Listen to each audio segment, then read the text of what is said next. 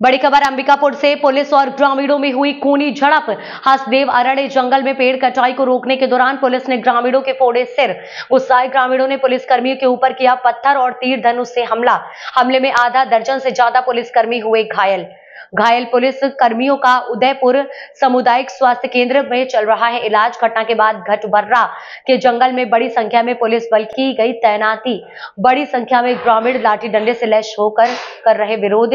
Udaipur Parsa east केते बासेन में Cola खनन के लिए बड़ी संख्या में काटे जाने हैं पेड़। मेरा नाम मुनेश्वर सिंह पोरते हैं मैं ग्राम फतेहपुर से हूँ। देखिए पुलिस तो तीन चार बार कोशिश किया हम लोग को भगाने के लिए। तो हम लोग डटे रहे वहाँ नहीं भागे। तो पहली वहाँ से हम लोग जब इधर जो रोड है वहाँ रोड में हम जब हम लोग चढ़ गए थे वहाँ तो जैसे पुलिस वाले अलग से मतलब एक रास्ता करके उधर जाने लगे। तो हम लोग सोचे कि आप लोग उधर क्यों जा रहे हैं? भाई हम यहाँ खड़े हैं तो आप लोग क्यों जा रहे हैं वहाँ?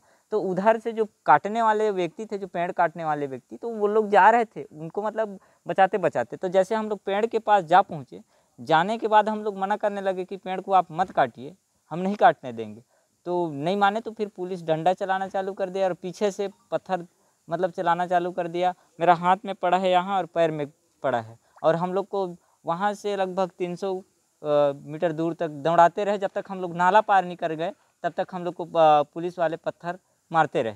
पुलिस वालों का कहना है कि आप लोग झड़प की गई है गुलेल तीर चलाया गया है। नहीं ऐसा नहीं है। पहले वो लोग अपना किए तो हम अपना जान बचाने के लिए जो भी किए हैं। भैया हम लोग पहले हम लोग शुरू नहीं किए। ज़बरदस्ती उन्होंने मतलब हमको धक्का मार के गिराया फिर हमको हमारे ऊपर डंडा बरसाए बरसाने के बाद पत्थर से भी मारे।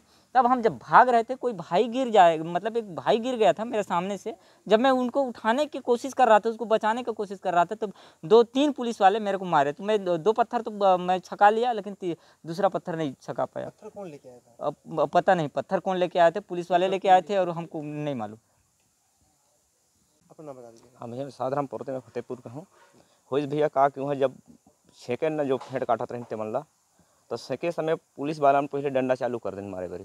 और मारे नहीं कर बाद हम कुछ देखे नहीं पाए न, एकदम हम भागते भागते नाला तरफ़ भागे न तीन सौ मीटर तक हमला दौड़ा दौड़ा के मन दौड़ा रहे और बम बम भी फेंकत रही पड़ी से ना मतलब बहुत जगह पड़ी से बम में पड़ी से हाथ में पड़ी से। पुलिसे वाला ने फेंकत रहे जब मुड़ के देखे ना फेंके के बाद जब फटिस ते समय तक पीछे मुड़ के देखें तो पुलिस वाला ने फेंकत रहे पुलिस वाले मारपीट भी किए मारपीट तो किए हैं। हाँ महिला वाला करी है मारपीट। हमला तो ज़्यादा दौड़ रहे तो हमारा मारपीट नहीं करे पर केवल बम में। लोग क्या करने गए थे वहाँ? फेड़ बचाने की काट रहे थे वाला वही बचाए गए थे। फेड़ काट रहे थे हाँ उदयपुर में कानून व्यवस्था ड्यूटी थी। उदयपुर क्षेत्र अंतर्गत में कानून व्यवस्था ड्यूटी के दौरान में कुछ पुलिस कर्मी और अधिकारी जो है इसमें घायल हुए हैं जिसे कि उदयपुर सामुदायिक स्वास्थ्य केंद्र में जो है भर्ती किया गया जहाँ पर उनका इलाज किया जा रहा है।